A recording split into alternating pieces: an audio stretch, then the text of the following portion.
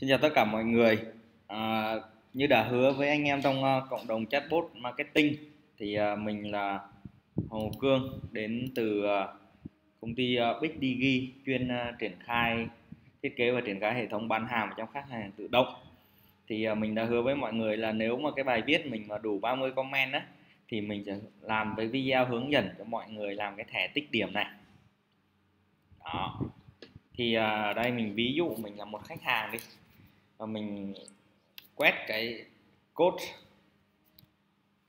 QR code để tích điểm chẳng hạn.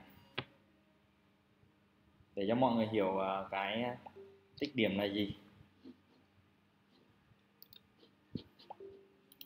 Đây tích đủ này. 5 điểm này. 4 điểm này 5 điểm này và được một phần quà này và nó sẽ rét điểm mới cho mình rồi. Đấy. ví dụ bây giờ sau khi mà đủ 5 điểm nữa thì nếu mà mình chơi tiếp chẳng hạn mình vào mình ăn lại tiếp ấy, thì hệ thống nó sẽ tự động nó sẽ reset reset cái điểm về cho mình. Mọi người xem nhé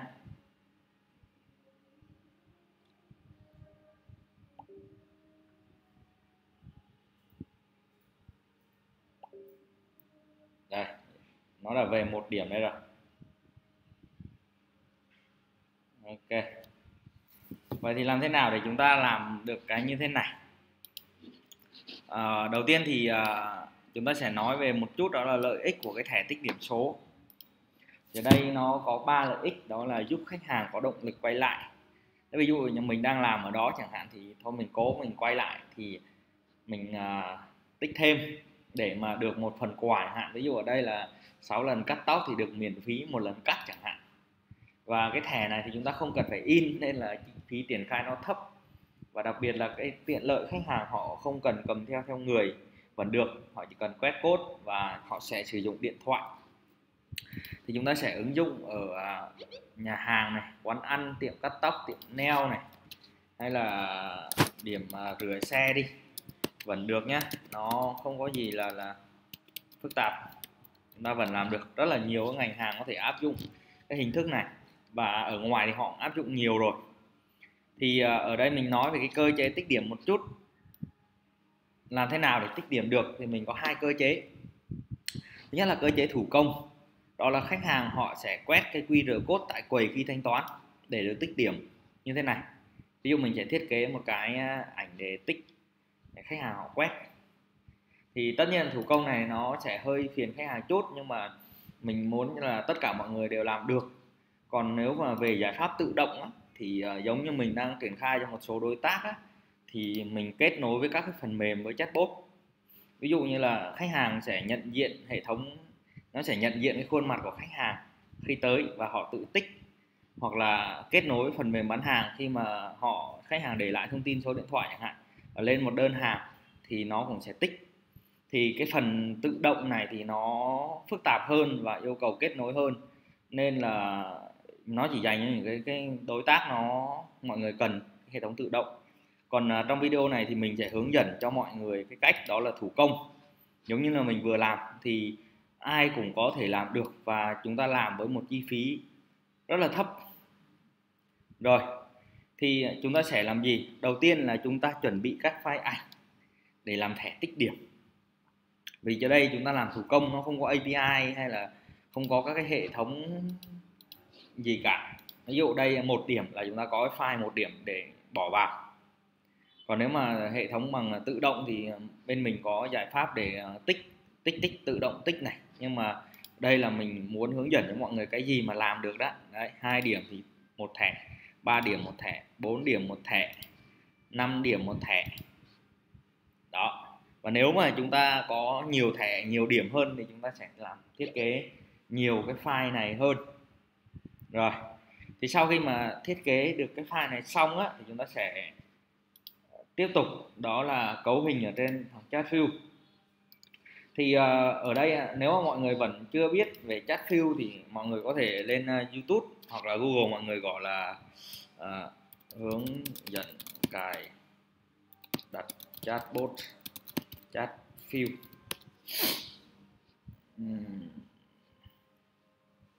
đây chúng ta có chỗ cộng đồng chatbot đây đấy đấy mình sẽ hướng dẫn mình cài. Nhưng mà rất là nhiều bài viết ờ, ở đây để mọi người hoặc chúng ta có thể tham gia cộng đồng chatbot. Chúng ta vào cái bài ghim ở trên bài á, thì rất là nhiều cái phần để chúng ta tự học chatbot nếu mọi người là người mới rồi đấy, hướng dẫn và cài đặt sử dụng. Rồi, thì ở đây là mình hướng dẫn cái trường hợp là chúng ta đã có một con bot rồi nhé đã có một con bot trên chat field rồi bây giờ chúng ta chỉ việc cài thôi. Thì nó sẽ mình sẽ làm lại từ đầu cho mọi người dễ hình dung nhé mình sẽ làm lại từ đầu cho mọi người dễ hình dung này. À, đầu tiên chúng ta sẽ tạo một cái group. Ấn một cái group này. Đó và đặt tên group là tích điểm chẳng hạn. Thì mình sẽ có các cái chính như sau. Đầu tiên là sẽ có block là tạo thẻ chẳng hạn. À, một nhé là tạo thẻ. Tạo thẻ. Được chưa? Nó tạo block đầu tiên, tạo thẻ. Rồi. Sau đó, chúng ta ấn đây này.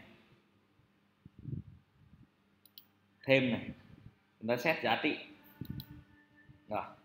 Chúng ta lập giá trị là thẻ tích điểm. Và chúng ta đặt giá trị bằng yes. Ok. Thêm giá trị nữa là điểm. Chúng ta đặt là không. Rồi.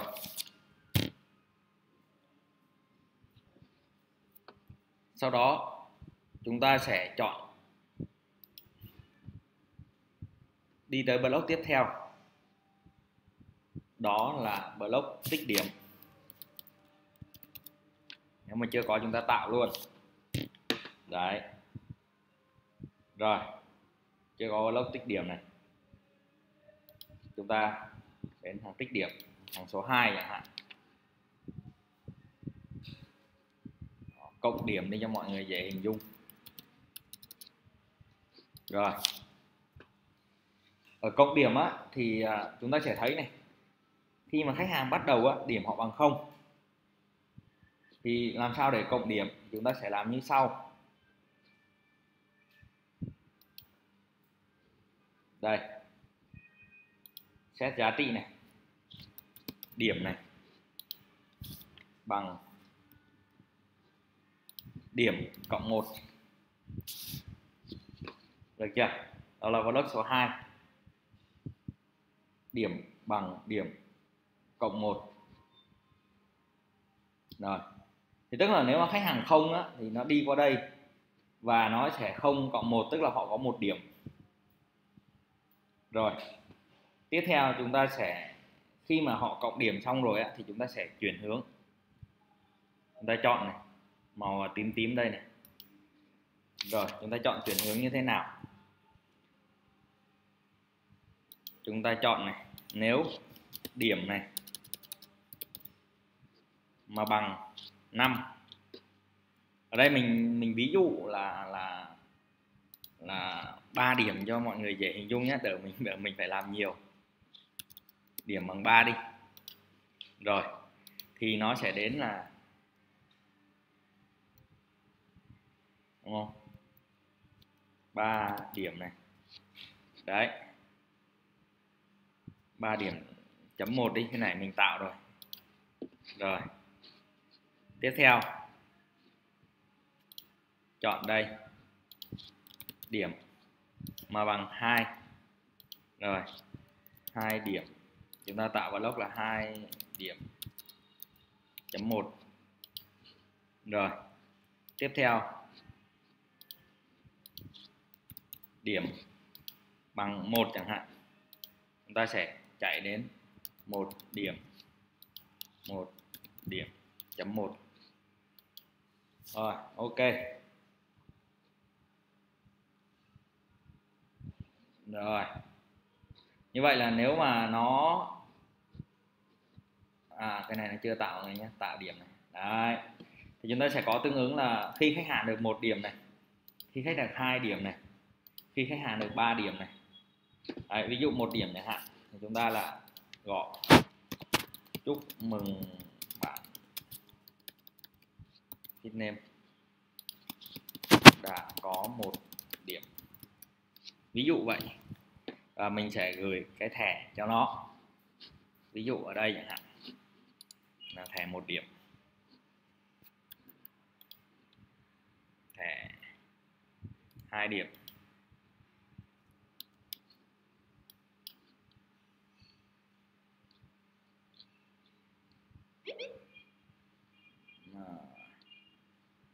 rồi mình ví dụ vậy. Ở đây thì nó cái thẻ 3 điểm thì nó ở tít trên trên này nữa. À, mình ví dụ vậy nhé. Về các bạn bỏ vào các bạn tính sau. À, chúng ta sẽ làm như sau. Ví dụ thằng này là một điểm đúng không? Tải cái thẻ một điểm lên. Đấy nó như vậy. Rồi thằng này hai điểm. Chúng ta sẽ có tích là chúc mừng chẳng hạn mình đạt hai điểm. Ok. Ví dụ vậy.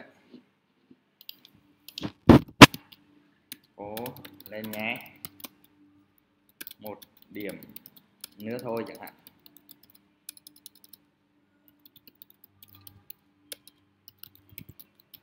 Nữa thôi sẽ có quà ví dụ vậy. Rồi 3 điểm chẳng hạn. Rồi, chúc mừng. Và sẽ làm thẻ 3 điểm. À, mình lấy cái số 2 tạm nhé rồi mình lấy cái này đi ví dụ vậy. Rồi, chúc mừng. Chúc mừng xong thì chúng ta sẽ nói về phần quà luôn. Phần quà của bạn là gì đấy? Ok, ví dụ vậy. Là chấm chấm chấm chấm chấm. Này. Đấy. rồi. Rồi, thì chúng ta đã tạo xong này. Thứ nhất là họ tạo thẻ này. Thứ hai là cộng điểm này. Một điểm này. Hai điểm này. Ba điểm này là nó thành công. Bây giờ thì chúng ta đang còn thiếu một cái nữa. Đó là bởi vì mọi người hiểu tại sao. Khi mà khách hàng đi vào đây thì nó điểm cứ về bằng không. Thì như vậy nó sẽ không, nó không lưu được lại cái điểm. Đấy, thì ở đây thì mọi người sẽ phải tạo một cái nữa. Đó là cái block. 3 chẳng hạn. Đã có thẻ. Rồi đã có thẻ và chúng ta sẽ, cái này chúng ta không ghi gì hết á. Chúng ta sẽ chuyển nó đến cái cộng điểm luôn. Đây. Và ở đây này. Ở đây. Chúng ta sẽ thêm ở đầu của cái sổ thẻ tab số 1 này. Chuyển với giá trị là thẻ tích điểm. Nếu như là Z tức là đã có thẻ rồi á mọi người hiểu như vậy thì nó sẽ chuyển sang block là đã có thẻ. Được không? Tức là mọi người hiểu là nếu mà đã có thẻ á, thì điểm không được rét về không nữa. À. rồi mình đi lại hết toàn bộ quy trình nhá. Đầu tiên là cái block tạo thẻ này thì chúng ta sẽ phải tạo một cái thẻ nó là đã có thẻ khi mà không có thẻ thì nó sẽ chạy tiếp xuống đây và chạy xuống đây. Nó sẽ cộng điểm. Đấy. và tương ứng, nếu nó có bao nhiêu điểm á, thì nó sẽ chạy ra cái ờ, điểm tương ứng là cho quà. Còn trong trường hợp mà nếu mà khách hàng đó đã có thẻ, tức là họ đã có một điểm rồi chẳng hạn á, thì ngay lập tức nó sẽ không chạy xuống dưới này nữa, mà nó chạy sang đã có thẻ và nó chạy lại, chạy về cộng điểm đó. Thì như vậy nó sẽ không điểm nó không bị rét về không đó rồi. Bây giờ chúng ta sẽ còn một cái block nữa để làm sao hệ thống này nó khi mà đủ điểm nó tự rét về không điểm được. Đây thì chúng ta sẽ làm một, một block rét điểm như thế này. À. và rét điểm nó sẽ nằm ở cái thằng cuối cùng á. Đây. Đấy, ví dụ chúng ta sẽ tạo cái block rét điểm như thế này nhé mình sẽ tạo nhé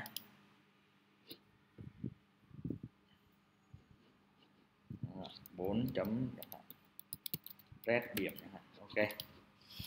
À, thống cấp thẻ mới cho mình. Ừ, có gắn lên. Ví dụ mình ví dụ vậy. Và mình sẽ set ở đây. Set giá trị này. Điểm này. Bằng không. Quay về không chúng ta quay về cái thằng à, số 3 á.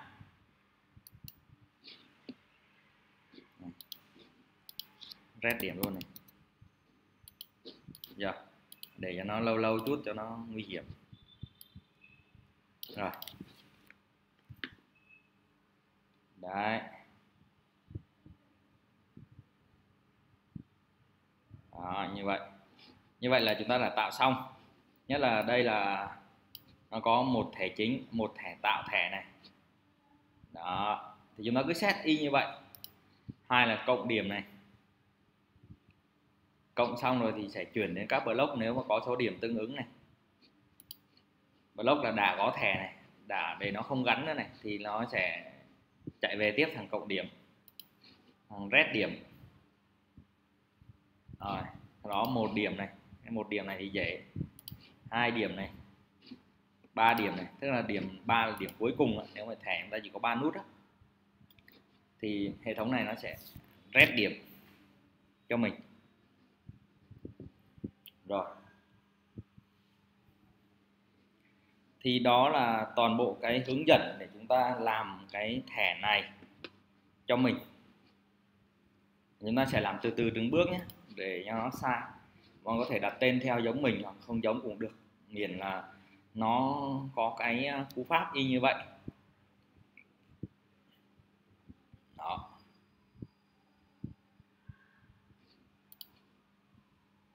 Rồi.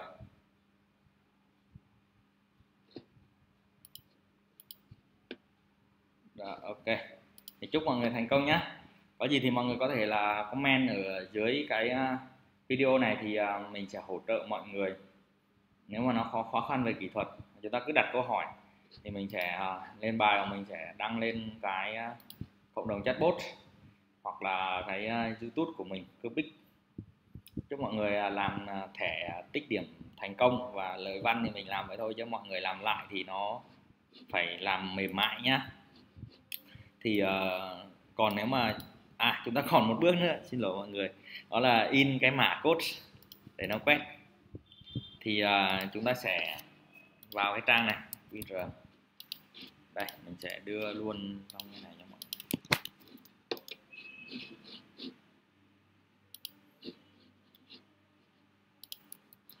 Đó.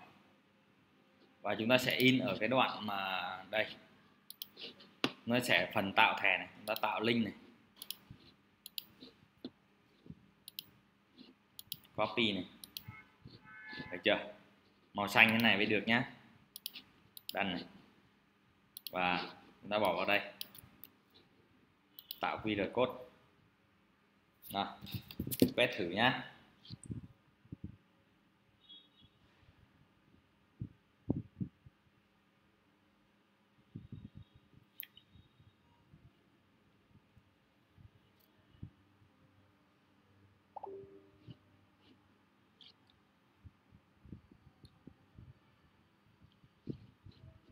đấy mọi người thấy không? Nó chạy này. Chúc mừng đạt hai điểm và một điểm nữa là có quả, cố lên, đúng không? Bởi vì lúc này trên hệ thống tôi đã quét một lần rồi, nên là nó có một điểm rồi. À còn nếu mà mọi người muốn rét cái điểm cho khách hàng thì mọi người vào phần này. Đấy. Nhìn ông cương này này. Đó là nhiều cái thẻ, nhưng mà nó gói thẻ điểm này đang là hai này. Đấy hai điểm á. Nên chúng ta muốn rét về điểm bao nhiêu thì chúng ta ấn ở đây.